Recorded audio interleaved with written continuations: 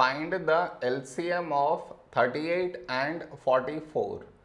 To find the LCM, first we should frame it in this way. 38 comma 44. This is your step 1.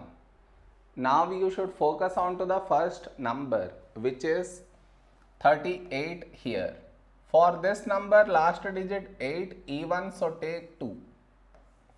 First number 3 a number close to 3 in 2 table is 2 ones 2.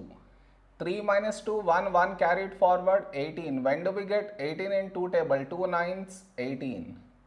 The other number 44 last digit 4 even so this is divisible by 2.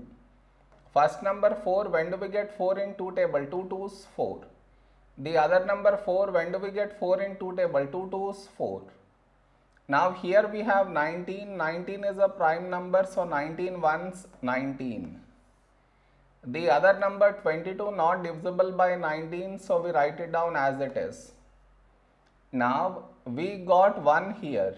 So focus on to the other number 22. Last digit 2 even so take 2. First number 2 when do we get 2 in 2 table? 2 ones 2. The other number 2 when do we get 2 in 2 table? 2 ones 2. Now here we have 11. 11 is a prime number so 11 ones 11. So we got 1 in both the places. So our LCM is LCM is the product of these numbers that is 2 into 19 into 2 into 11. When we multiply these numbers, we get 836 is our LCM.